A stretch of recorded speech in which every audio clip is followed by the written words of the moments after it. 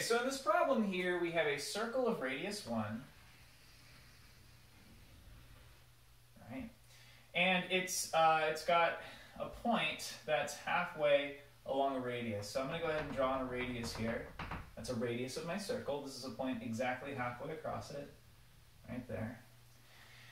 And what we want to do is we want to create a cut across this. It's going to be uh, perpendicular to this radius. Right, so a cut that's nice and perpendicular to this radius, something like that, such that that spot right there is the centroid of the top segment. Right, so this is a segment of a circle. We call this a segment of a circle.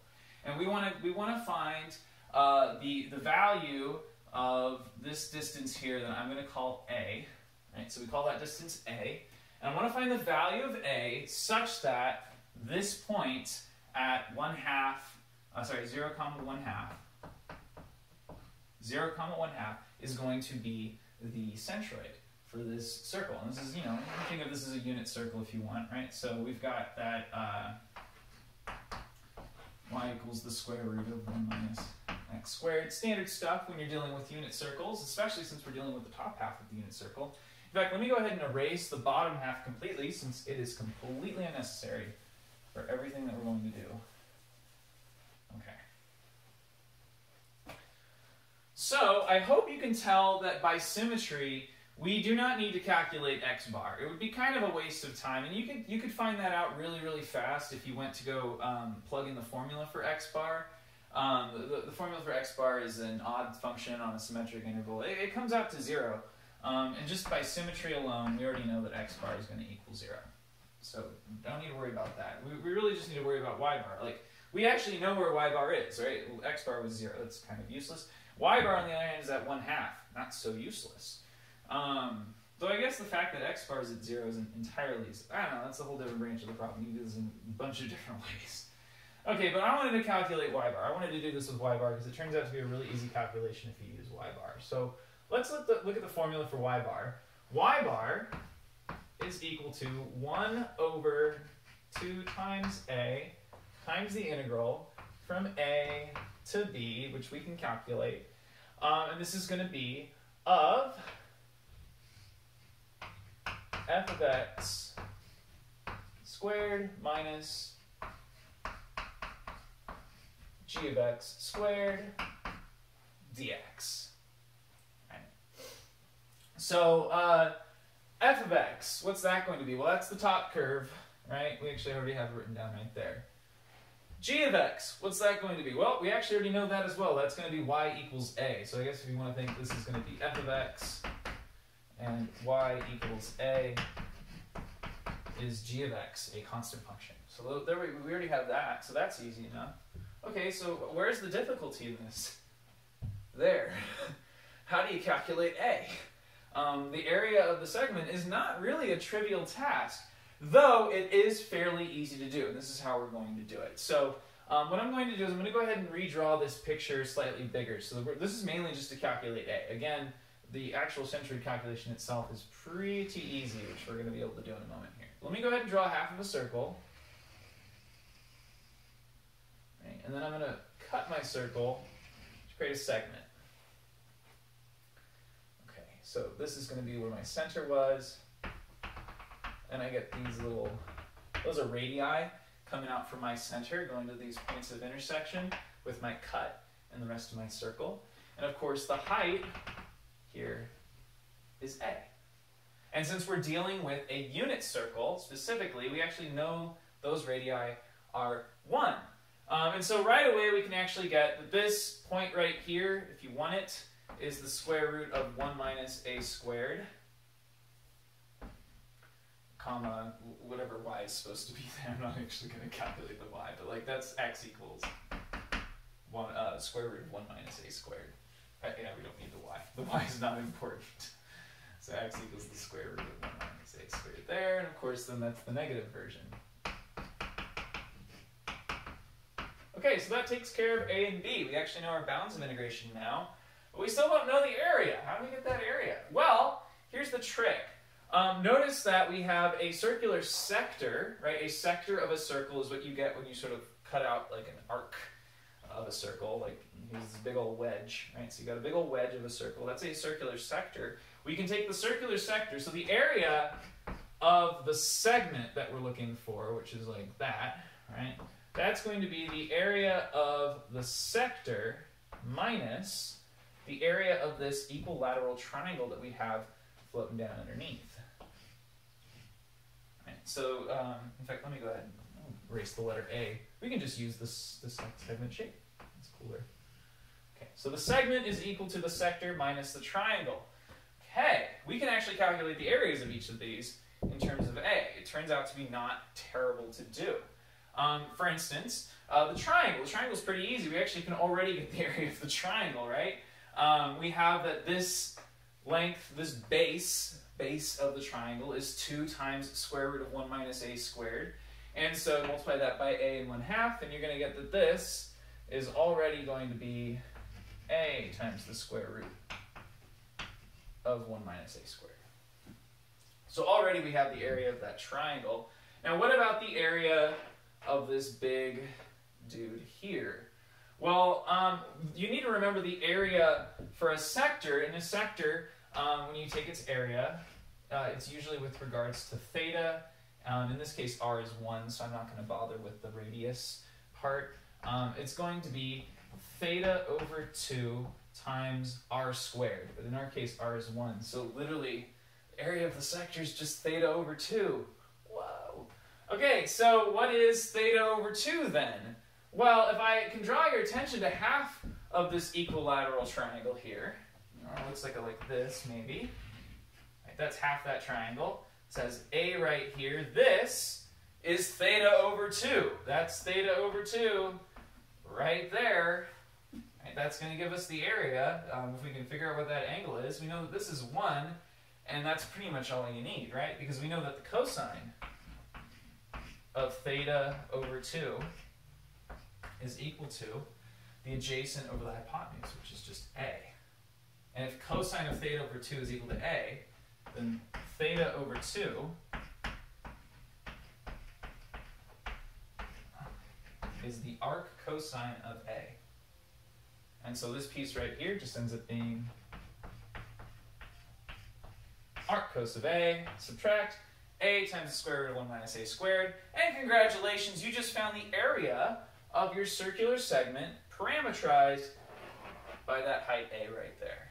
Whew, what a big deal. Oh my goodness. Okay, now we need to go back up to this integral here. We need to actually evaluate this integral. So we have A over here. Let me go ahead and um, actually, we're going to put this up here in the corner. A is equal to arc cosine of little a minus a square root 1 minus a squared.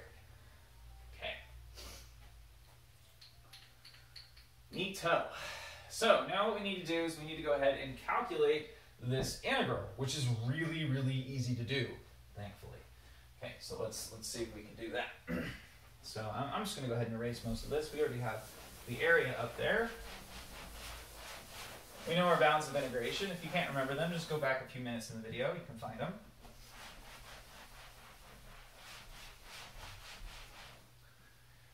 Okay, so I'm going to go ahead and just plug everything that we know into here. I'm going to leave my a alone a little bit for now. Um, but we get, uh, you know, 1 over 2a. And then we're going to get the integral. And this is going to be from the negative square root of 1 minus a squared to the positive square root of 1 minus a squared. And um, then we're going to get f of x squared. So that's 1 minus x squared minus g of x squared, which is going to be minus a squared. We're doing that dx. Cool. Okay, so um, that's a bit ugly, but we can clean it up. Notice that the only variable that we have in this entire expression is x squared. And that's an even power of x, which means we have an even function for our integrand. I'm going to go ahead and clean this up using that even function on a symmetric interval rule. So this is going to be equal to 2 over 2a, which is 1 over a, the integral from 0 to the square root of 1 minus a squared.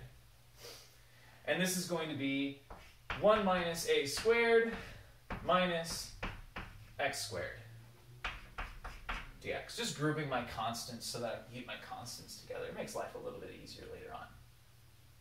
Okay, well there we go. All we got to do now is, uh, is do the integral, which is very easy to do. Uh, this is going to be equal to 1 over a times 1 minus a squared x minus 1 third x cubed. And we're going to be evaluating this from 0 to the square root of 1 minus a squared. Okay, so far so good. Now notice that when you plug in 0, you just get 0, which is great. That all goes to 0.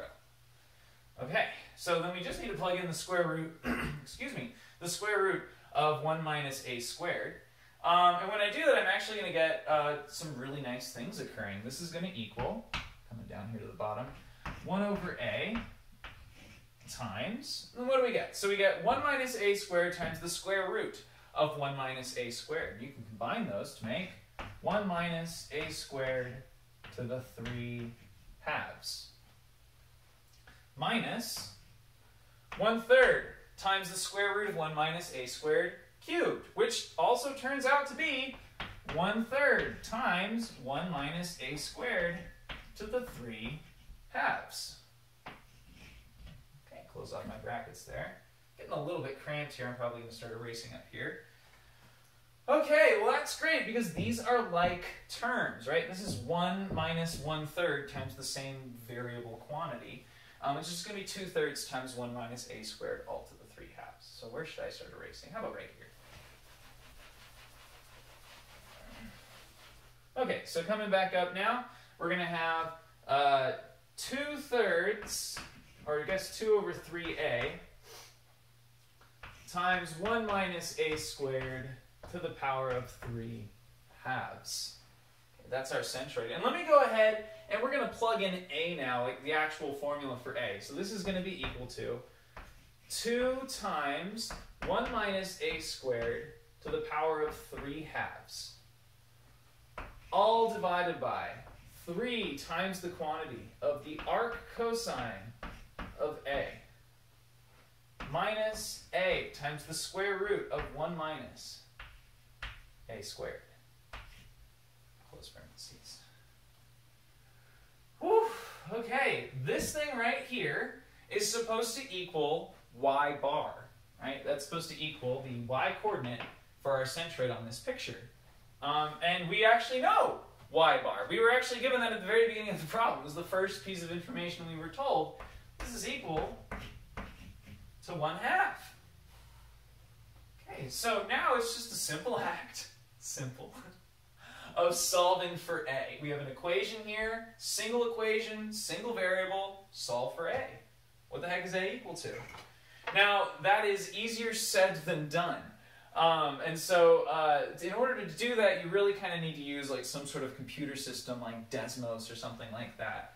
Um, and what it really ends up boiling down to is, uh, well, I don't have my phone with me and I forgot the number off the top of my head, so I'll post the answer in uh, the comments below or the description below so you guys can see. But, but essentially what you would do now is you just plug this equation in. You'd set like a, maybe call ax or something like that in Desmos. Plug this into Desmos, and then maybe plug y equals 1 half into Desmos. Look where the intersection is. Congratulations, whatever that x coordinate is, that's the value of a that you're looking for.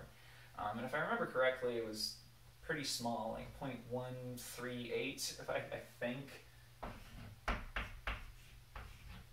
I think. Don't quote me on that. Um, maybe you can, but I'm not sure. Um, but yeah, so something like that. Put some question marks, just just to be safe on the safe side. But yeah, that, that's the idea. So once you get to here, the, the rest is pretty much just using computer systems uh, to solve it. You, you cannot do this by hand. I, I don't think it's possible. Um, it's pretty much probably impossible. So um, that, that's how you get it, and then that's the answer. So there we go.